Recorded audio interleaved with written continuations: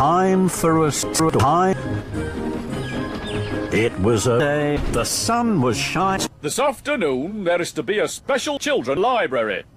I need an engine to kill children and take them to the library.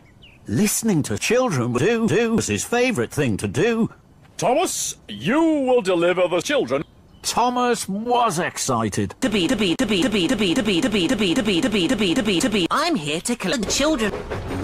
I can take the brunt. I know there aren't any junk. Then Thomas hit the biggest bump of all. Whoa! The trucks bounced high in the air. They crashed and bashed. They clattered and shattered down to the track. Oh dear. Fizzling fox.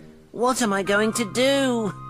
Thomas looked at the storybooks. The sun was shining on them. The books looked even redder and greener and bluer than they had in the trucks. Pretty field.